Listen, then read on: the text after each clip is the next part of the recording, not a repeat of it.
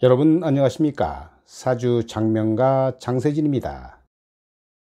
사주 명리학에서는 균형을 중시하죠. 즉 너무 많은 오행이나 십성 또 없는 오행이나 십성은 그만큼 불리하다고 보는데요.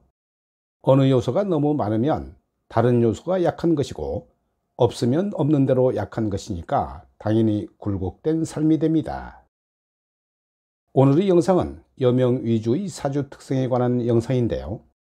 십성별로 과다한 사주 특성을 알아본 후 관성이 많은 여명과 관성이 없는 여명을 비교해 보겠습니다.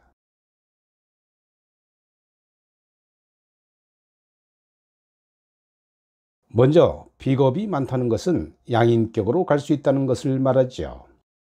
거기에다가 관성이 용신인 여자는 큰 일을 할 카리스마가 있는 것입니다. 통도 크고 사회생활을 아주 잘하지만 관이 미약하다면 식상이 비겁의 힘을 빼난다 하더라도 괜찮다고 봅니다. 비겁 다자는 얼굴이 굳어 있으니 잘 웃어야 하고 워낙에 의리가 좋아 믿는 도끼에 발등 찍힐 수 있다고 생각해서 의심이 많지요. 인성이 많은 사주처럼 사람을 조심해야 하고 재성과 상극을 이루니 아버지랑 사이가 좋지 않습니다. 항상 고집으로 망하지요. 그래서 듣는 위주의 자세가 중요한데요. 남자한테는 잘하고 쿨하게 하는데 다만 자존심만 건들지 않으면 됩니다. 식상이 많은 여자는 욕심이 많고 다부지다는 소리를 듣죠. 정이 많고 생활력이 강한데요. 뭐든지 자기 뜻대로 하려는 성향이 강한 여자라 고집이 세고 기센 여자로 보이기도 하지만 마음은 착해 남의 일을 자기 일처럼 하는 오지랖이 있습니다. 남자도 자식 키우듯 밥도 먹여주고 옷도 입혀주고 유별나지요.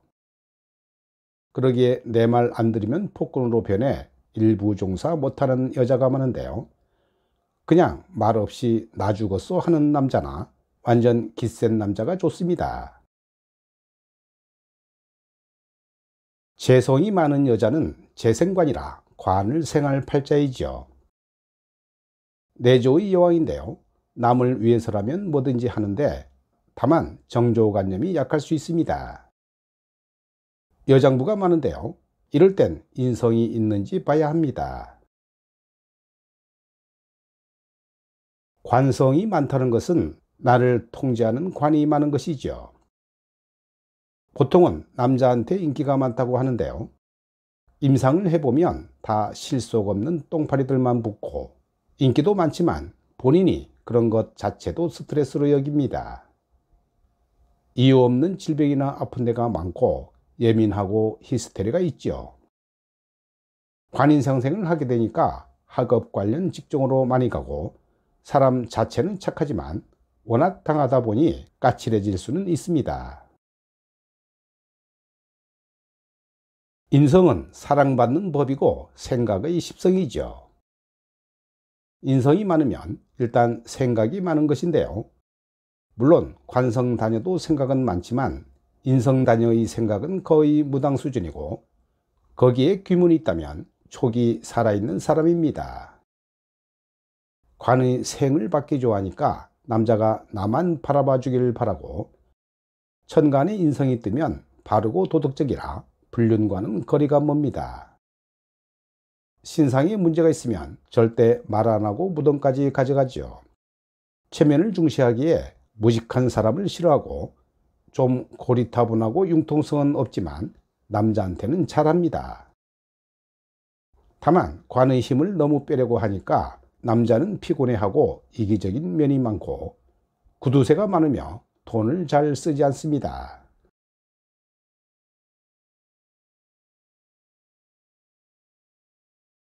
어느 것이든 많으면 없는 것과 동일하고 없으면 많은 것과 동일하다는 말이 있죠. 관성 단연은 거쳐가는 남자들이 많아도 확실한 내 남자는 없는 것이고 무관성 여자는 거쳐가는 남자도 별로 없고 어쩌다 만나더라도 남자랑 인연이 짧아 역시 내 남자가 없다고 보는데요. 관성 단연나 무관성 여자 모두 남자 경험에서 차이는 있지만 솔직히 둘 다 남편 복은 없다고 봅니다. 관성다녀는 일단은 남자 경험이 많죠. 연애를 하지 않으려고 해도 주변에서 가만두지를 않는데요. 남자들이 한두 번씩 찔러대고 들이대는 스타일이 관성다녀입니다. 남자들이 생각하기에 자기 여친으로 괜찮다고 생각하는 여자들이고 접근하고 꼬시는 데에 크게 어렵지 않다고 생각하지요. 그래서 관성다녀는 이놈 저놈 많이 꼬이는데 좋은 놈도 꼬이고 나쁜 놈도 꼬이고 어쨌든 인기가 많습니다. 또 관성다녀 성향 자체가 못생기고 찌질한 놈이거나 남자 자체를 거절하지 않죠. 왜냐하면 관성다녀는 남자에게 인생을 기대고 싶은 마음이 크기 때문입니다. 그래서 그냥저냥 괜찮으면 일단 만나고 볼 것이고 또 남자가 있어도 또 다른 남자에게 흔들리기도 하는데요. 자기 주장이나 고집을 드러내기보다는 남자한테 잘 맞춰주는 성향이라 남자들이 좋아합니다. 한편 무관성 여자는 일단 환경 자체가 남자가 거의 없는 상황이죠. 그래도 인연이라는 게 무서운 건지 저런 척박한 환경에서도 엮일 놈들은 다 엮이는데요.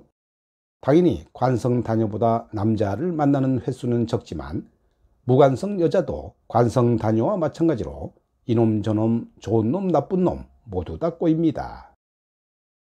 그런데 무관성 여자는 남자가 자존심이 강하거나 찌질하면 거들떠보지도 않는데요. 한마디로 무관성 여자는 눈이 상당히 높다고 할 수 있습니다.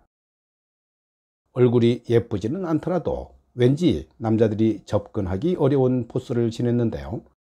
평소에 눈이 높고 콧대가 높다가도 한번 엉뚱하게 꽂히면 무조건 직진합니다. 그런데 그놈은 결코 좋은 놈이 아닌데도 이상한 고집을 부려서 그놈만 바라보는데요. 나름 일편단심이라고 할 수 있지만 비건설적인 일편단심입니다. 결론은 관성 다녀나 무관성 여자 모두 남편 보기 지지리도 없지요.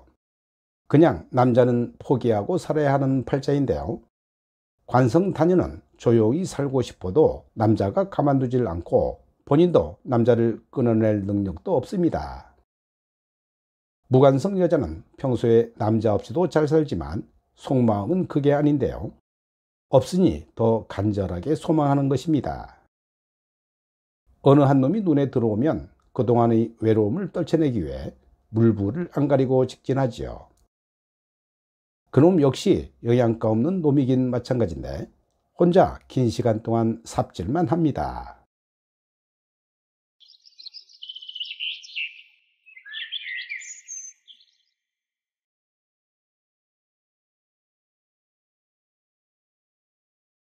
이 명절은 진월에 태어난 병술일주 여명인데요.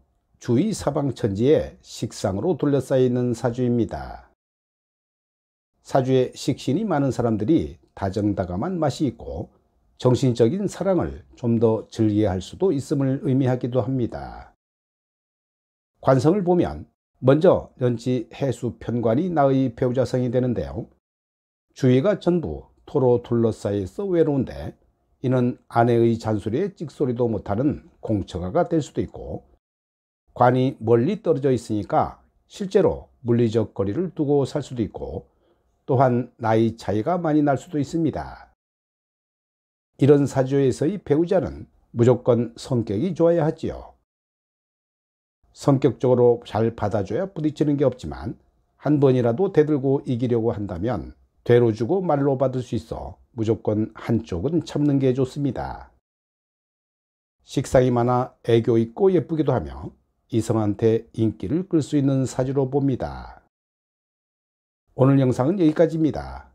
여러분 대단히 감사합니다.